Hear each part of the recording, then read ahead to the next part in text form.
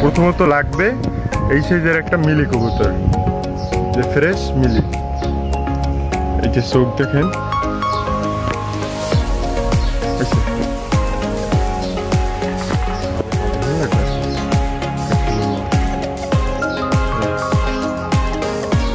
হুম? তারপর লাগবে আর একটা মাক্সি আমাদের। মাক্সি লাগবে এই টাইপের একটা মাক্সি। এই যে মাক্সি কোথায়।